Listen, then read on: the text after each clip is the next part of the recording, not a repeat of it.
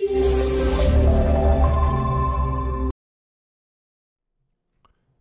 video is brought to you by Astronics Test Systems and the Freedom brand of communications system analyzers. The topic of this video is testing live DMR repeaters. What are the skills you can expect to gain from this presentation? Learn what it means to test your DMR radio infrastructure in live mode or in test mode and when to use each mode. Learn when you should test the system over the air or take it out of service for testing.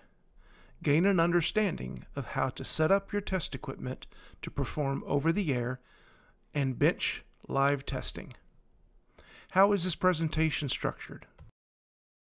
First, hear about a customer who used his skills in testing live DMR repeaters to quickly verify system performance without service interruption. Next, review the basics of DMR radio systems and take a quick peek under the hood at the digital protocol that makes it possible. Finally, discover best practices for selecting the test method, setting up the equipment, and performing the necessary tests. Could these skills help you save time and money? That's exactly what happened to Mark at a large utility company in Texas. Several radio system users were experiencing problems accessing the system in one area when using portable radios. A major storm had caused widespread outages to the electrical infrastructure. Mark needed to find the problem and fix it quickly. Using his Freedom R8100 analyzer, he confirmed that the system sensitivity was poor by testing the live repeater over the air. During his visual inspection of the radio equipment, he located a faulty cable he was able to swap the cable without taking the system off the air. He was pleased that his test equipment could perform the live test over the air. Without it, the system would have been offline during his testing. Mark's understanding of DMR radio and his test equipment helped him analyze and respond to the situation. What is DMR and how does it work? Digital Mobile Radio, abbreviated as DMR, is a limited open digital mobile radio standard defined by the European Telecommunications Standards Institute and is used in commercial products around the world. DMR, along with P25 Phase 2 and NXDN, are the main competing technologies in achieving 6 and a quarter kilohertz equivalent bandwidth using the proprietary AMBE plus 2 vocoder.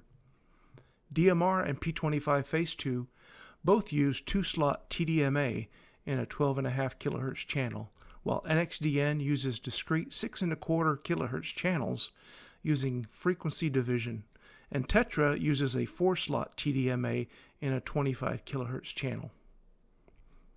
The primary goal of the standard is to specify a digital system with low complexity, low cost, and interoperability across brands, so radio system purchasers are not locked into a proprietary solution.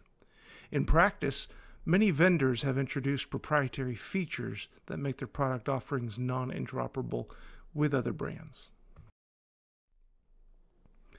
Although not strictly necessary for testing, a knowledge of the basics of the underlying protocol details can provide insights when interpreting the test results. Listed here for your reference is a list of key values derived from the standard that are helpful in gaining a deeper understanding of the subject. The standard defines three tiers of service. Tier 1 provides only direct communication from radio to radio without system infrastructure. Tier 2 provides for conventional systems using, radio repeaters. Each repeater provides two transmit and receive paths, one in each of the two time slots, using only a single frequency pair. Tier 3 provides for trunking systems. Each site contains a controller with a control channel, and a number of individual base station radios provide the voice or data channels, which are dynamically allocated on a call by call basis. Each base station provides two channels, one in each slot. Again, keep in mind that some manufacturer systems are not DMR Tier 2 or Tier 3 standard compliant. Also, radio features from one vendor may not fully interoperate with other vendor systems. This presentation focuses on Tier 2 and Tier 3 systems, since they use infrastructure to provide communication services. The base station or repeater can operate in one of two modes live mode or test mode. Each mode must be tested differently and serves a different purpose. Live mode means the base station is operating as a repeater. It is listening for a DMR signal at the receiver frequency and sending that signal back out at the transmitter frequency. If there is no received signal for a period of time, the transmitter stops sending out a signal. Once the system is in sleep mode, the received signal must include a wake up sequence to re enable the transmitter. And so the test equipment must be able to generate this wake up sequence. In this mode, the repeater can be tested while connected to the test equipment on the bench, or it can be tested over the air while it is still connected to the outside antenna. Over the air testing can verify that the repeater is functioning as a repeater but it may not be able to determine how well it is able to perform its job. For example, accurate power output and receiver sensitivity measurements may not be possible unless the base station is put in test mode. Test mode means the base station is no longer operating as a repeater. The system is not able to provide communication service while in this mode. Its receiver and transmitter operate independently under the control of an attached PC or through front panel controls. The manufacturer provides software that can be used to enter a test mode and control all of the parameters of the base station. Once the test equipment is connected directly to the base station, the manufacturer's service uh, the service manual procedure can be followed to fully test and align the hardware. In this mode, the test equipment does not need to send a wake up sequence as is required in live mode. In summary, live mode testing is for quick functional verification and can be performed while the system is on the air. Test mode is used for performance verification, diagnostic troubleshooting, and tuning. Take a minute to review this slide to make sure you clearly understand when you would use test mode and when you would use live mode on the bench or when you would use live mode over the air. How do you connect the test equipment and set it up to perform the necessary tasks? Focusing now on live mode testing, consider the following scenario which lends itself to an over-the-air test. You are responding to an end-user complaint about service degradation or interruption. You want to verify the system can receive signals and retransmit those signals without impacting other users. You have the instrument in the front seat of your vehicle and are parked near the base of the tower. How do you connect the instrument to the system and set it up for testing? First, consider the test equipment. It is a Freedom R8000 series service monitor equipped with the DMR protocol test package and the live repeater test option so that it can simulate an end user radio and generate the wake up sequence. Antennas for the appropriate band are placed on the RF GEN-out and antenna ports. After configuring the instrument in DMR mode, the instrument is placed in duplex operation. It now must be configured with the correct frequency pair of the repeater and the correct color code. Finally, the instrument is told to look for a base station sync pattern and, and then we configure the output to generate a solid tone DMR test pattern. Now that the instrument is set up to access the system, see the areas highlighted in green, it will measure the output of the repeater and display all relevant readings on the screen. Here is a list of the relevant information that can be used to verify the repeater is functional. We'll start by looking at the areas highlighted in red the DMR sync light shows that a valid sync pattern is detected.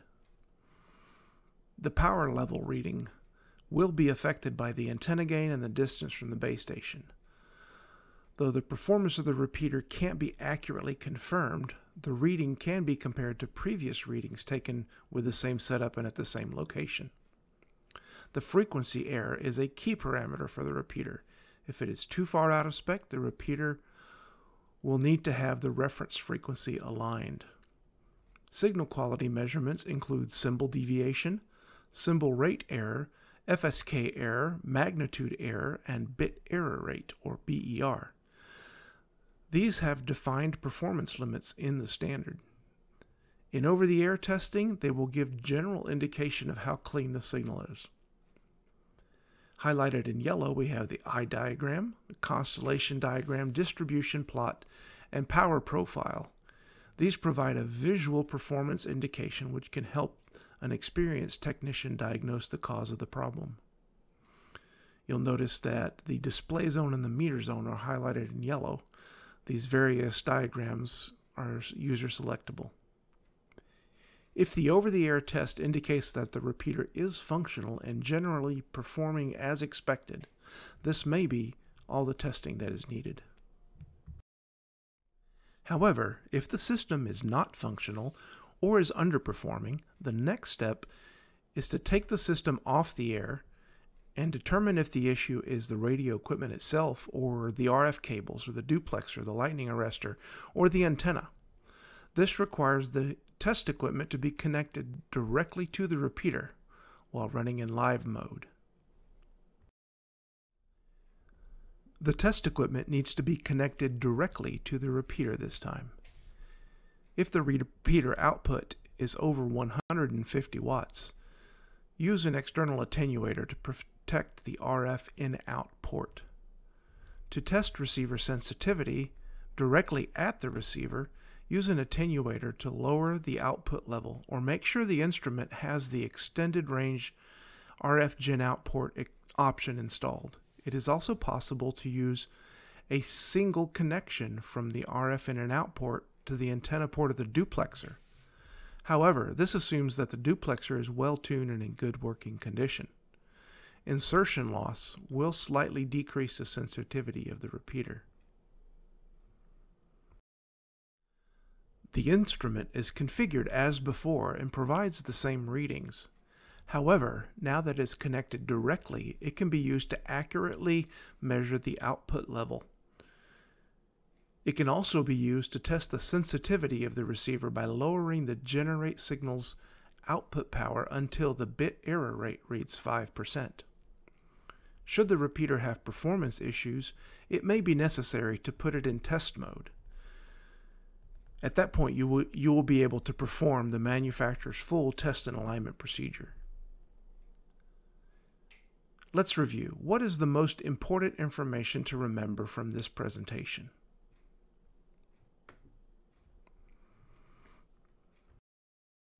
By now, it should be clear that having test equipment that can perform a test on a repeater in live mode provides a valuable and quick tool to verify the system is functional. The ability to perform the verification over the air further enhances the system maintainer's ability to check the system without interrupting service. The Freedom product family of communication systems analyzers is very easy to learn, easy to use. It provides all the data at a glance, and it does it all in a small, lightweight instrument that is capable of addressing all of your radio test requirements.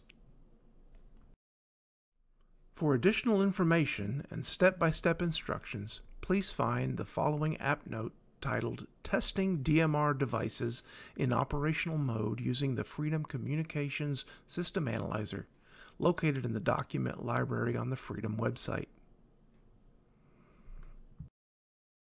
Please check our website for product information such as data sheets, brochures, operators manuals, user's guides, application notes, and other videos. Contact information for our sales and application engineers is on the support page. To schedule a product demonstration or to obtain pricing information, contact your local U.S. representative or international distributor. You can also connect with us through social media. On behalf of the Freedom team at Astronics Test Systems, we trust you have found this presentation useful and hope you will reach out to us and let us show you how our expertise, our experience, and our products can save you time and money as you endeavor to keep the radio communications flowing on your system.